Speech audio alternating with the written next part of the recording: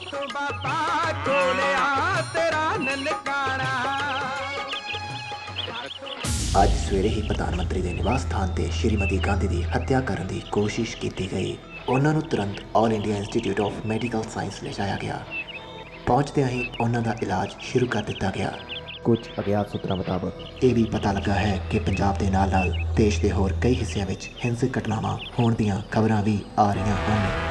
ਇਸ ਮੌਕੇ ਤੇ ਕਈ ਪ੍ਰਮੁੱਖ ਆਗੂਆਂ ਦਾ ਕਹਿਣਾ ਹੈ ਕਿ ਸਾਨੂੰ ਇਸ ਸਮੇਂ ਸ਼ਾਂਤੀ ਬਣਾਈ ਰੱਖਣੀ ਚਾਹੀਦੀ ਹੈ। ਦੂਜੇ ਪਾਸੇ ਸਿੱਖਾਂ ਦੇ ਕਈ ਪਰਿਵਾਰਾਂ ਨੂੰ ਦਿੱਲੀ ਵਿੱਚ ਬੇਰਹਿਮੀ ਨਾਲ ਕਤਲ ਕੀਤਾ ਗਿਆ।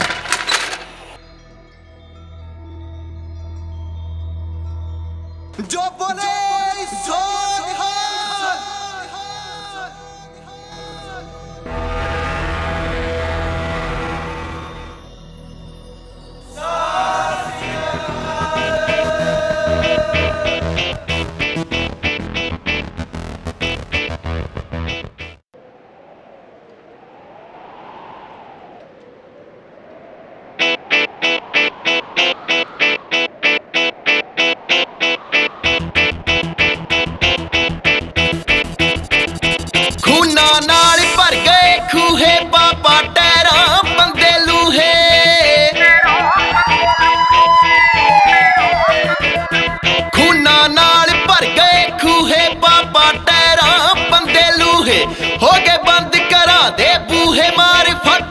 की हो जूगा